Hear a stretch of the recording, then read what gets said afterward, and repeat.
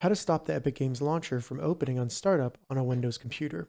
Welcome to another Gauging Gadgets Windows tutorial video. In this video, I'm going to show you how to stop or prevent the Epic Games Launcher from opening automatically when you turn on your computer. All right, so to get started, the first thing we need to do is simply open the Epic Games Launcher, and you can quickly do that by going down to the Start menu down here, finding the Epic Games Launcher, and just double clicking it.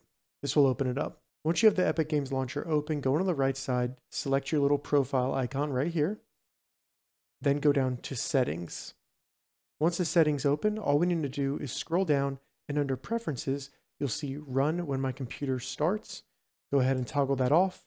Now we can back out and we can close the Epic Games Launcher and the next time we reboot our computer, it will no longer automatically open up. All right, so that's how you stop the Epic Games Launcher from opening on startup.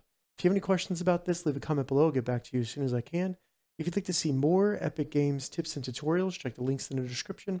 If this video helped you, give it a thumbs up, and please consider subscribing to my channel, Gauging Gadgets, for more gadget reviews and tech tutorials. Thank you so much for watching.